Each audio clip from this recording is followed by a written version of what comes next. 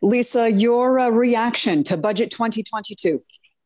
I think it's a good start. I can see that there's an effort in there to have long term growth as part of the plan going forward and a recognition that long term growth is important.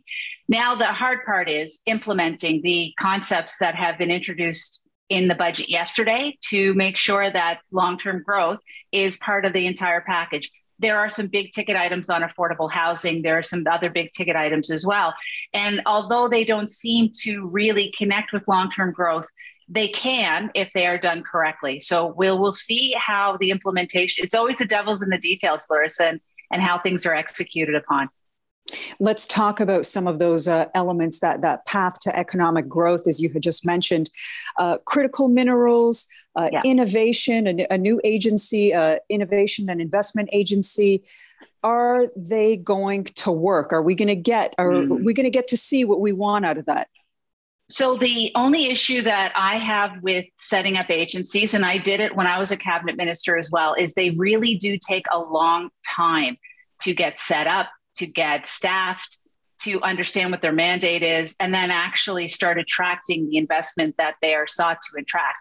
So, it's a bit of a delay to put it into the hands of a new government institution to get get the growth fund going, for example. That all being said, at least they're moving in the right direction. And what it is showing to foreign investors and to investors here in Canada that Canada is serious about economic growth and they want to invest in it. They understand the issues of productivity uh, and that they're going to be there. Critical minerals is another really good one. And the focus for them there is not only finding the deposits, which it's good to see some money in there, but as well understanding that the time to open a new mine is 13 years. If it's going to take us 13 years to uncover some of these deposits and start extracting them, then we're really going to be out of sync in terms of trying to set up supply chains for electric vehicles, batteries, and storage solutions that we're going to need in the shorter term. Let's uh, talk about carbon capture and that road to net zero. We're the program rollouts adequate with the, uh, I guess, the liberal messaging? So, my understanding from what I'm hearing in private sector is it's good. It's good to see that the government took it seriously. They, of course, private sector is asking for 75 eh, eh, tax credit. Sorry, and they ended up with a 50 percent one, 60 percent for for direct air capture, which is a different kind of carbon capture.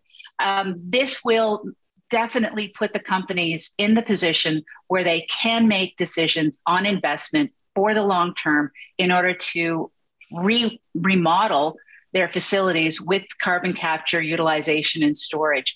And that's the key for emissions reductions moving to 2030 and then again to 2050.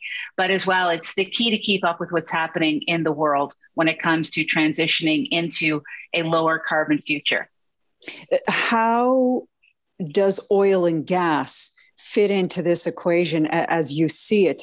Uh, of course, it's been propping us up. It's been propping up the Canadian economy for, for some time now, especially yeah. as of late. How, how does it fit into all of this? Well, more than propping up, look, it's 25% of our of our GDP. And that's really incredibly important. So you have to make sure that when we talk about transitioning and green jobs, that as you reduce the amount of exports that are coming from oil and gas, as the demand around the world decreases, as what is set out by the by the IEA, you have to have something else that we're going to export that's going to take that place. And that's why economic growth is so important because you rightly point out it's a big piece of our economy. So if we're going to see a lessening of that, we need to see more of something else.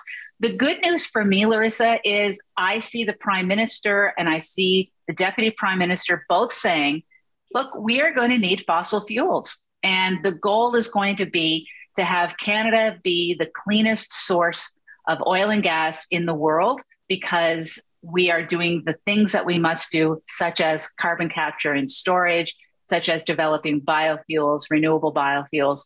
And I think those are really important decisions that are being made that we're not throwing out oil and gas. It's still a very big piece of our economy. And a lot of our innovation comes from the companies who are in the oil and gas sector. So I was I was hopeful coming out. And I was also hopeful to see that the government has approved the Bay du Nord project, which is off the coast of Newfoundland and Labrador, extracting oil from the floor of the, the seabed. And that to me shows that there's an understanding that you just can't turn it all off, regardless of what um, the NDP may want, regardless of what some other organizations may want. It is not responsible to just suddenly decide that you're going to shut down the oil sands.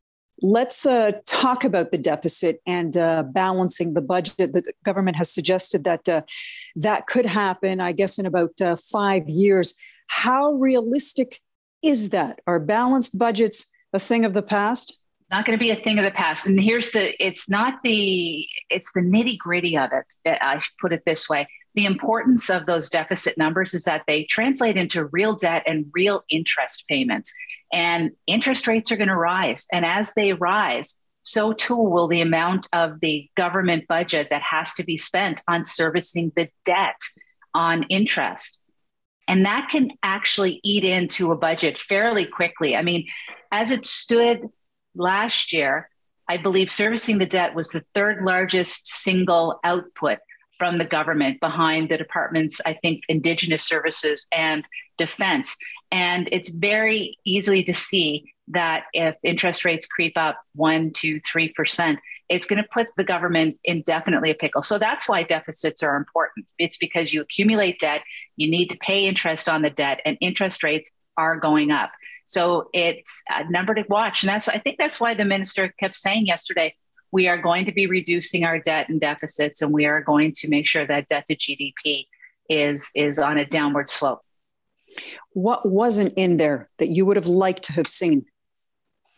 Wow. Um, I would have liked to have seen an urgency, uh, a call to the Canadian public that long term economic growth is extremely important to our future.